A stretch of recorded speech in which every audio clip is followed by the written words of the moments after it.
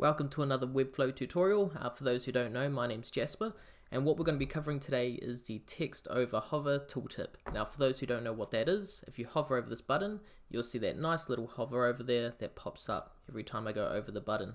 So I'm just going to exit out of that. Now we're going to start from fresh here. So this is real quick, it will take you about a minute if that. So the first thing we need to do is get this JavaScript library, Tippy. So we're going to put this in our header code. So let's copy that. And we're going to go over here to the settings for our page. I'm going to scroll down to the bottom where you'll see the header code here. Paste that in.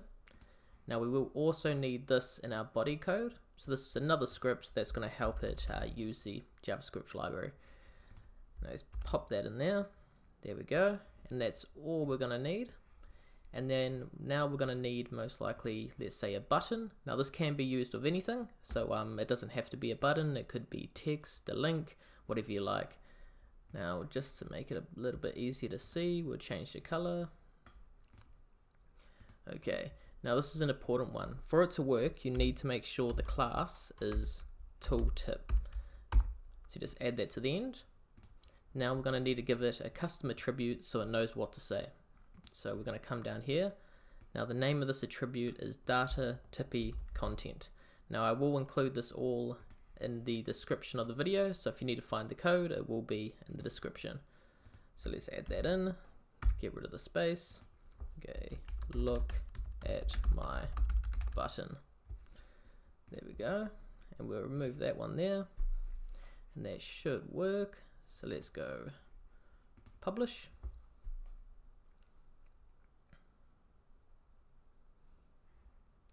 Let's check it out. Oh, I think we've got an error. Now what it will be is most likely, there we go, I missed the D. Let's double check that, not a capital D, lowercase, data tippy content. It's okay people, it's alright to make mistakes. Alright, let's try that again. There we go. Look at my button. So now it's working as you can see. Now, um, thanks for watching the video. If you do like the content, don't forget to give it a like and also subscribe because I'm releasing uh, Webflow tutorials on a regular basis. Also, um, if you are looking for a project management tool, maybe a sales tool for managing your clients, there is a new one I've come across which is called Monday.com. Now, if you go to the description in this video, you will find a link there where you can get the free uh, Monday.com account for a forever free account as well so you won't have to pay and you get all the features that you need.